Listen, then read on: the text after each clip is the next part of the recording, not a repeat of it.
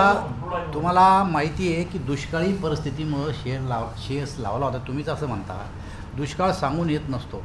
आत्ता दुष्काळ नाही. तो कदाचित पुढच्या वर्षी आला तर काय? आणि आता नाही नाही. असं आहे. तुम्ही समजून घ्या की दुष्काळ हा काही सांगून येत नाही.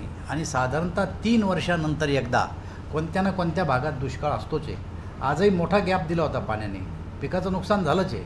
आणि अजूनही रब्बीची पिकं पिकाची काय स्थिती राहील हे आज नाही सांगता येत.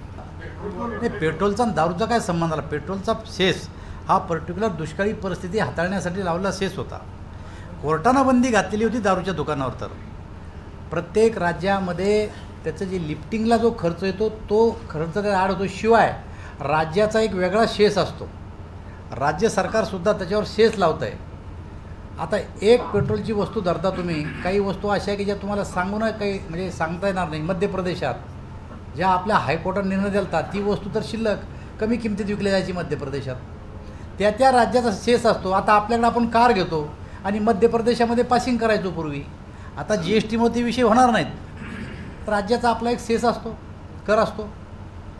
पेट्रोलच्या किमती आंतरराष्ट्रीय बाजारपेठेवर अवलंबून असल्यामुळं याच किमती राहतील कमी होतील का जास्त होतील हे सांगता येणार नाही.